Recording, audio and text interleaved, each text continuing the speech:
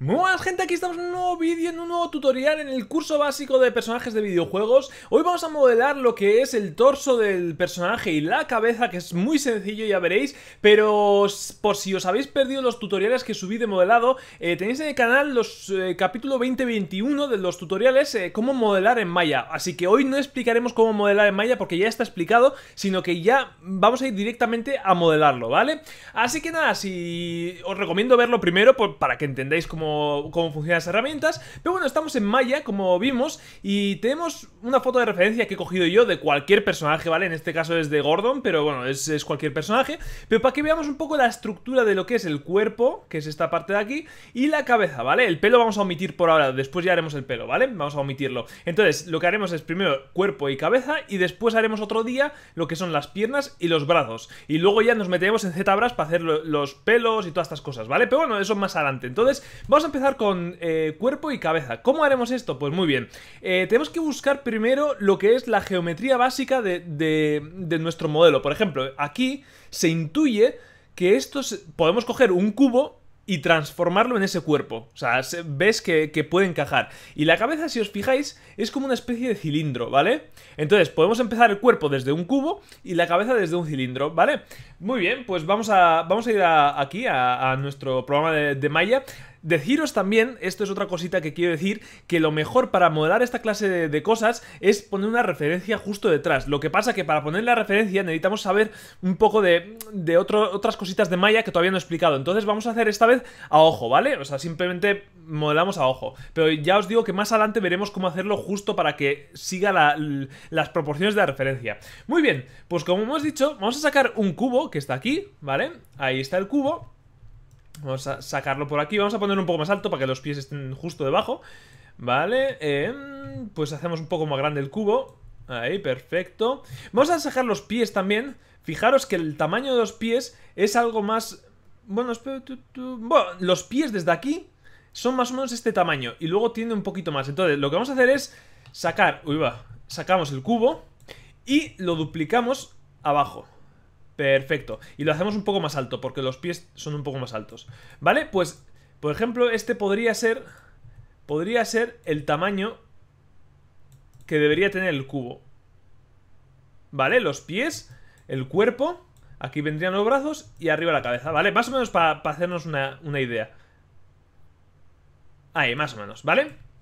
Muy bien. Y ahora vamos a sacar la cabeza. La cabeza vamos a empezar desde un cilindro, ¿vale? Le damos al cilindro y ahí tenemos nuestro cilindro. Y por supuesto, irá ahí nuestra cabeza. Muy bien. Más o menos tenemos aquí la estructura de lo que es... Igual la cabeza un poco más grande, ¿no? Sí, casi coge la anchura entera, con lo que es más grande, sí. Vamos a coger así, igual un poco más pequeño. Ahí. Bueno, luego ya, ya modificaremos, eh, tranquilos Vale, pues más o menos tenemos la cabeza, el cuerpo, los pies, el tamaño Y aquí irían los brazos que llegarían justo pues más o menos hasta aquí, más o menos, ¿vale? Pero bueno, los brazos dejamos para otro día Entonces, ¿cómo empezamos a modelar la cabeza? Muy, muy, muy fácil, ¿vale? Fijaros que eh, tiene como una especie de curva, ¿vale?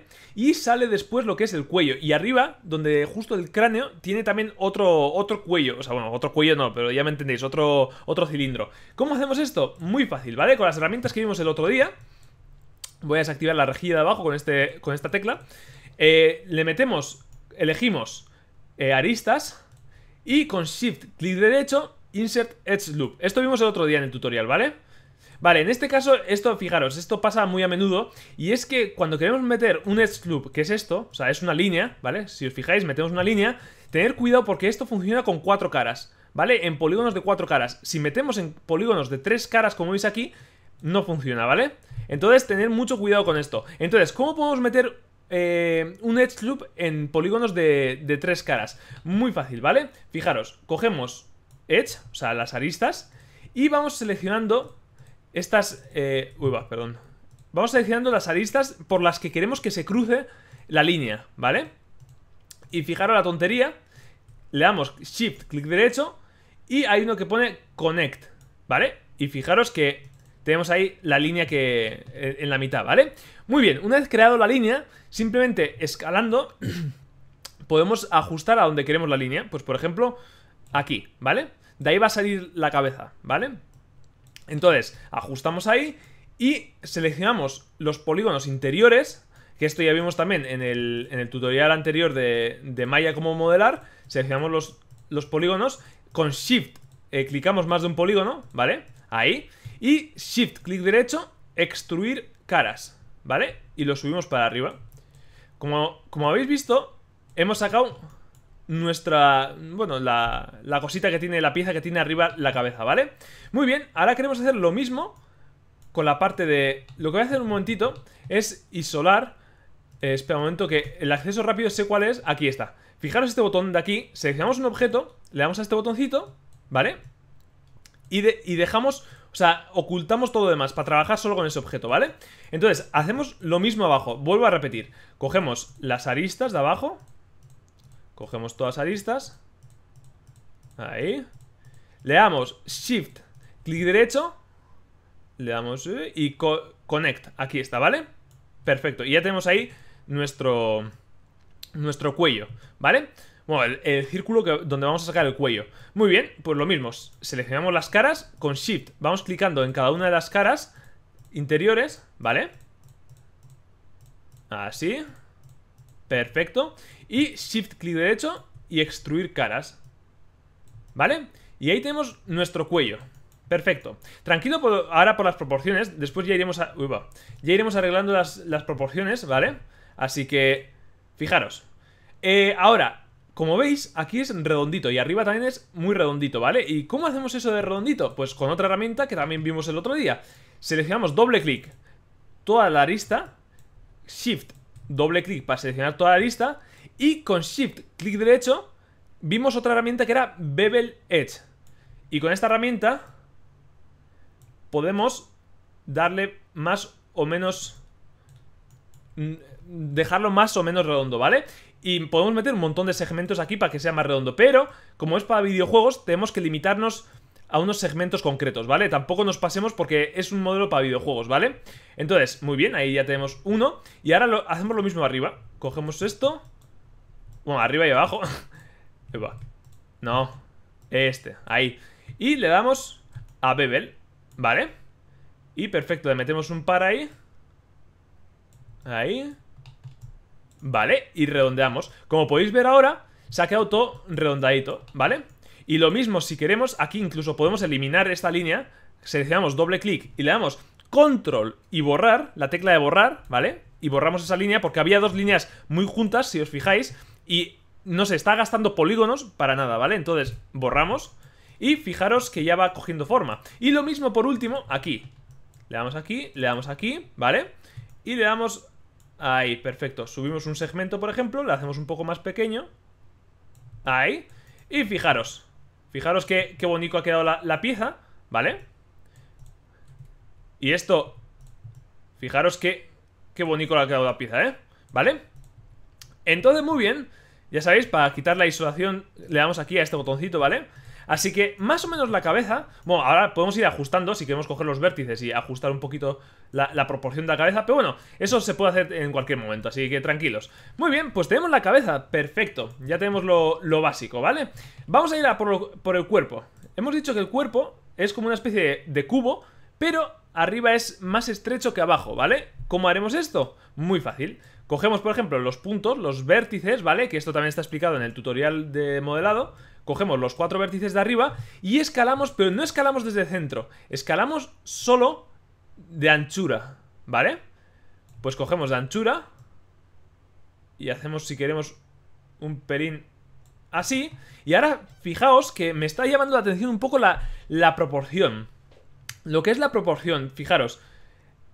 Esto es más ancho y más pequeño. O sea, fijaros que me está quedando muy, muy, muy alto. Entonces, vamos a ir moviendo un poco y vamos a ensanchar un poquito todo, ¿vale? Al hacer a ojo, estamos... Estamos... Ahí. Y un poco más ancho esto. Estamos viendo todo un poco a, ojímetro, ¿vale? Así que... Ahí. Vale. Yo así lo veo más, más proporcionado, ¿eh? O sea, la cabeza con el cuerpo lo veo más proporcionado como está aquí, ¿eh? ¿Vale? Perfecto. Sí, yo lo veo bien aquí. Muy bien. Pero ¿qué falta para que quede como el cuerpo? Pues fijaros que tiene un poquito ahí las puntas redondas, no están tan finas, tan finas, ¿vale? Como, como veis aquí. A ver, esto deciros también que según para qué plataforma estén preparado el videojuego, por ejemplo, no es lo mismo preparar un videojuego para Play 4 o PC que para móviles. En móviles seguramente habría que ahorrar muchísimo más recursos que, bueno, seguramente no, seguro, que en PC o eh, Play 4, ¿vale? Entonces, eh, como veis aquí los, los bordes redondeaditos, esto seguramente habría que disimular con con unos mapas de, de, normales que veremos un poco más adelante. Pero como tenemos, o sea, como queremos sacarle un poco más... Eh, queremos lucir un poco más nuestro modelo, ¿vale? Vamos a usar un poquito más de polígonos. Entonces, como hemos hecho en la cabeza aquí, como hemos metido muchos polígonos aquí, ¿vale? Pues vamos a meter unos cuantos aquí en, las esquinas. Más que todo para lucir nuestro modelo, ¿vale? Entonces, cogemos todas las esquinas, ¿vale? Cogemos todas estas esquinas porque al final son todas las que queremos redondear, ¿vale? Bueno, en realidad si podemos coger así, ya está, ¿vale? Y le damos shift clic derecho y bevel. Ahora fijaros subimos un segmento por aquí. ¿Vale? Incluso igual así para que quede ahí todo bien, ¿vale? Vamos a poner 1.5, a ver. Ahí, ¿vale? Da igual 0.2, ¿eh? 0.2... Sí, ¿por qué no? ¿Vale? Ahí estamos. Y vamos a escalar un poquito, un pelín... Vale Vale, todavía yo creo que es un poco más ancho.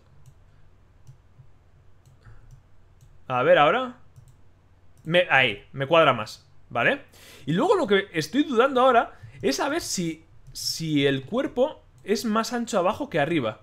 Esto habría que mirarlo Pero me da a mí la sensación O igual es mi sensación, ¿eh? De que es un poco más Más ancho abajo que arriba no sé, igual es mi sensación, ¿eh? Esto es... Me, lo estoy inventando, pero bueno Vale, pues eh, si os fijáis Ahora podemos, si queremos, podemos borrar esto Bueno, es que esto ya está descuadrado ¿Vale? Pero ya tenemos nuestra... Vamos a coger esto, vamos a aquí Ahí Ya tenemos nuestra cabeza y nuestro cuerpo de Lego Ya veis, bien modelados Hemos eh, creado el low poly, ¿vale? Que es el, un modelo de bajo poligonaje que servirá después para meter en un motor de videojuegos y, poder verlo animado, ¿vale? Entonces, eh, poquito más. En el siguiente capítulo seguiremos con los pies, con los brazos, ¿vale? Y ya en el siguiente ya nos metemos en ZBrush a hacer, pues, eh, accesorios, o el pelo, o, la capucha, o lo que sea, ¿vale? Pero bueno, ya sabéis, si os gusta esta clase de tutorial, si, queréis que siga con, este cursillo, darle un me gusta, eh, agradecería muchísimo, y nos vemos en la siguiente. Un saludito y adiós.